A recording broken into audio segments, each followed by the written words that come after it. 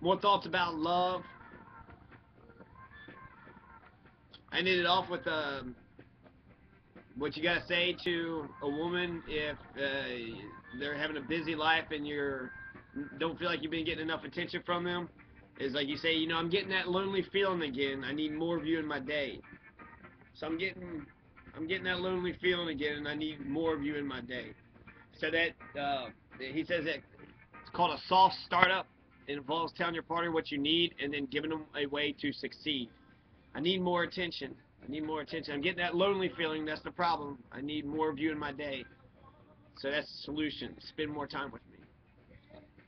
Uh, his team had found that even in happy relationships, partners reciprocate anger with anger. So the easiest way to de-escalate a conflict was not to escalate it in the first place. For instance, instead of saying, "I'm sick to I'm sick to death of cooking dinner, you lazy slob," Gottman suggests telling your spouse, "You know, I'm sick of my own cooking. I think we need to go out to dinner, or have you take charge of dinner for a while."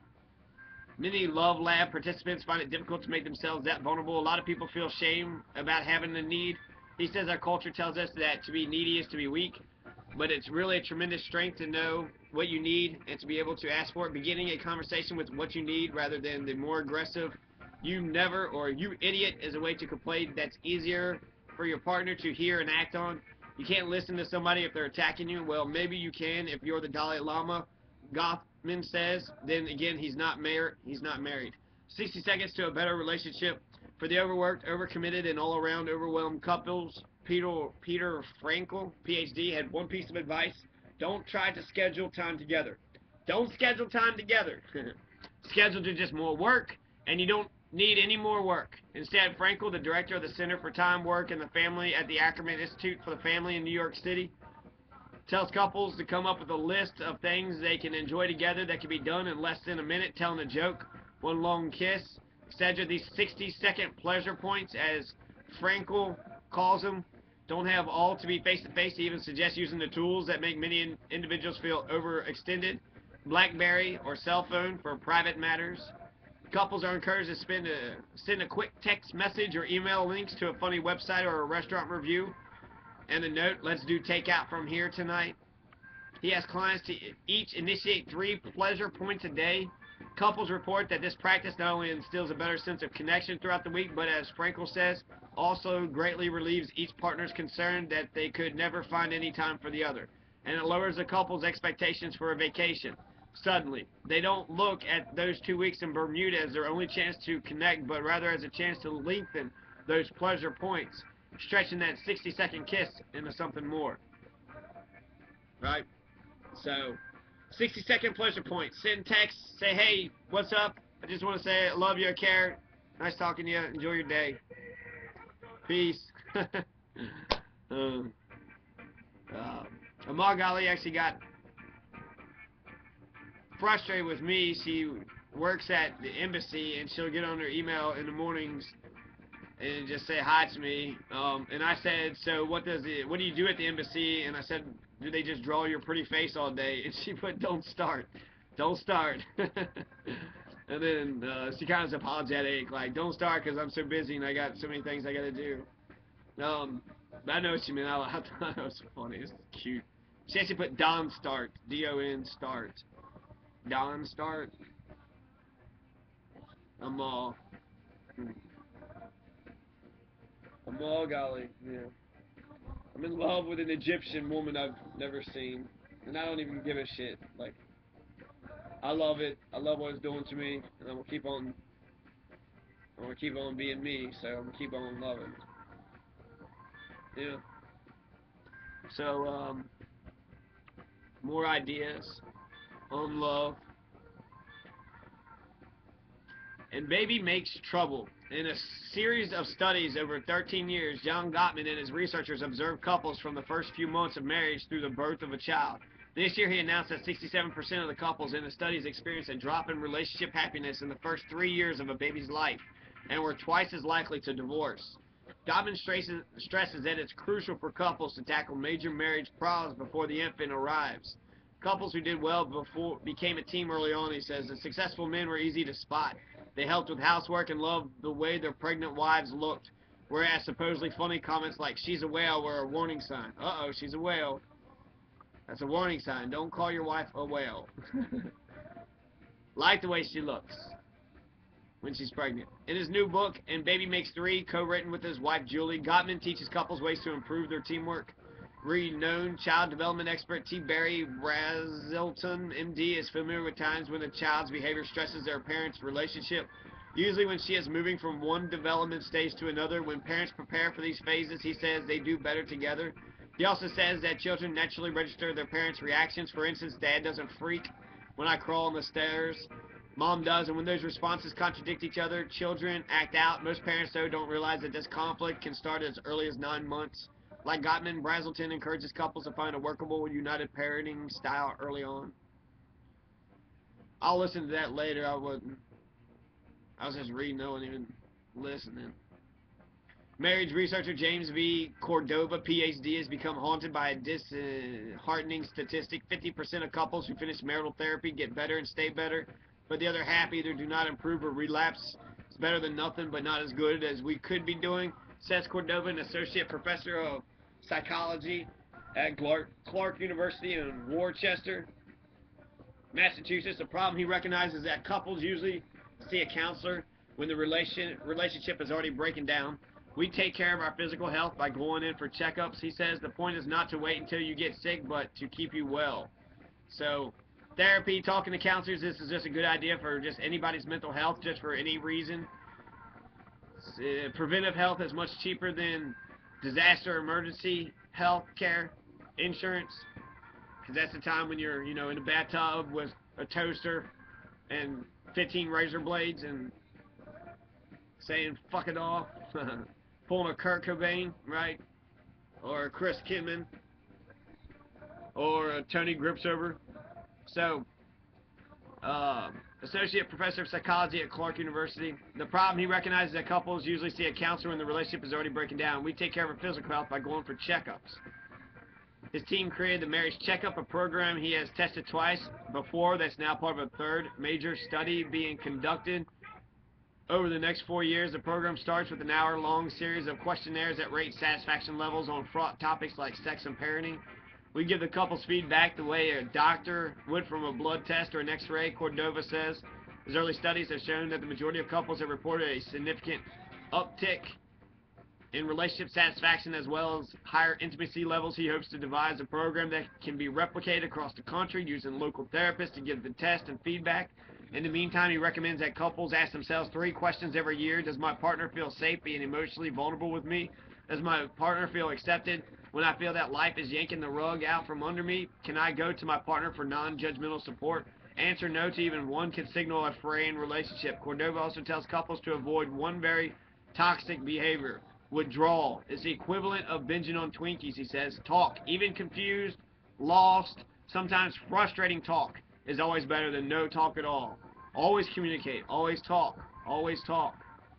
You can change your spouse. For more than 15 years, Richard A. Mackey, professor emeritus at Boston College's Graduate School of Social Work, studied heterosexual couples who have been married more than 20 years and have never seen a couples therapist. He found that the long marrieds instinctively learn not to insist their partner make big behavioral changes. They ask for tiny modifications. For instance, instead of saying, can't you stop being such a goddamn slob?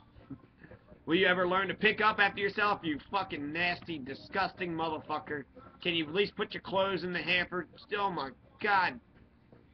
What surprised him and gives hope to anyone stuck in a small house with an unrepentant slob control freak pack rat Star Wars figurine collector is that over two decades of asking each other for small alterations, many spouses had nudged their partners into making significant changes without alienating them. This technique was particularly effective, Mackey says, when used on men.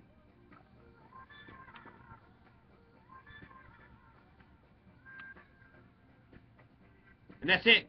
That's eight reasons to forget everything you've ever been told about love. I don't even know what the last thing was said. Um, let's take a look at my Facebook. Let's see what's going on Facebook world. I got one notification. To Tahisha Wiseman Tisha Wiseman, Steve Sassa, and Stephen Argue like my link, the self shot for Facebook, the kitten, the kitten link, right? So That's some Facebook friends giving me support for sending out a picture of a kitten, taking a picture of itself. Higher thoughts, find your natural high. It's a bunch of people on a picnic table overhanging the cliff. It's actually a wild, incredible picture. David Overall, dang, I just saw my first black Olympic swimmer. I didn't know we swam competitively. Jake Hastings likes this. I like it too, so I will like this. Um, relationship is not a test, so why cheat? Like or comment. Seniors for a Democratic Society shared we demand that Democrats fight back, which makes more sense after 40 years of tax cuts for the rich and 30 years of income concentration at the, at the top and 30 years of stagnant middle class wages and 20 years of Wall Street deregulation that tanked the economy in 10 years of two wars paid for with debt. We need to give more tax cuts to the rich, further deregulate Wall Street and cut middle class programs to pay off the debt, or we need to invest in the middle class, re-regulate Wall Street, and raise taxes on the rich to pay off that debt. That's the choice. Tax the rich, tax the rich, or tax the middle class. Which one's going to help our economy better? Taxing us, the workers, the people that need to get out there and keep the money, or tax the rich, the people who have all the damn money anyways, and are keeping all the job and capital and money for the damn selves. Bankers are keeping their money. They ain't helping us. They ain't helping us. Seniors for Democratic Society's got a cartoon. I don't need government making in my healthcare decisions. I need you making hers. no abortion. So it shows the contradiction of the Republican Party. They say they don't want health care, but they do want to tell women to have abortions or not. So she wants to, Republican men want to tell women that they can't get medical service, but they will never tell a woman that they need to get medical service, that they should have it, or that they're obligated to have it, or that the government is obligated to provide life, liberty, and the pursuit of happiness you can't provide life, how can you pursue the pursuit of happiness? Here's a picture of a Bender uh, on Sexy Atheist. It says, we will start our own church with divorce and hookers. So, that's more fun stuff. Bender. uh, Futurama from my Facebook. Yep, yep, yep. Nope, nope, nope. Yep, yep, yep. That picture Adam Legorsky just put out. Verb biggest likes my. I told you I was sick, you bastards. That's my uh, uh, headstone for when I die. I told you I was sick, you bastards. That's my eulogy. That's my whatever. My epigram, my epitaph, my epitaph. Right. That's their last words of your life. Your epitaph. I told you I was sick, you bastards. um. Yes, more stuff. This is this is actually pretty entertaining. It's pretty stimulating. Facebook's stimulating. I always goes after it. Adam Legorsky puts a picture of the rainbow and he puts "Nobody loves you." So that's uh, from the wrong stuff. That's uh, funny. That's hilarious. Here you got uh, Captain Picard say, "Why the fuck does a fast food chain have to have a stance on same-sex marriage? Why the fuck?" does the fast food chain have to have a stance on any political issues? Just sell your damn tacos. I don't know. If I had a business, I would definitely be telling my opinions, but I got ra radical, progressive perspectives. I'm a social anarchist, so I believe in uh, socialism for the people. The government should provide for the people. If the government's not giving anything to the people, what the fuck do we have a government for? If the government doesn't help the people, do away with the government. It's a social anarchist. All or nothing. So it's uh you know the uh, Ron Paul he's a, he's right on the Patriot Act he's right on the drug war he's right on the empire wars and the military he's right on the budget and he's right about um, he's not so right about the budget but he's uh, to balance the budget is a good idea and the in the Fed is uh, it's a good idea in the Fed or audit the Fed. We'll see how corrupt our financial system is. We'll see how they've been running our country, and we won't tolerate it for one fucking second once it's explained to us like, you know, we're fucking children. And everybody's saying it instead of just a few radicals, you know, the people that can be laughed at. Uh, your face, I like that shit. That's how I flirt. Normal people flirt. Hey, how you doing? Hey, your face. Man, that looks good. Uh, Michigan GOP candidate allegedly, ah, damn it, it shifted on me. What if you woke up today and the only things that you thank God for yesterday? I'm not for sure. Homosexual behavior in animals, so homosexuality is normal. I love you all the time at home. Shouts your mom, yes. Shouts you again, yes. Shouts again. What is it? You don't have to scream. love you. Ahmad Ali. Viva la revolution, Louisville. Stand up, be courageous, speak out. Peace, love, freedom, land reform. Legalize coal. Legalize, nationalize coal. Legalize marijuana. End the wars.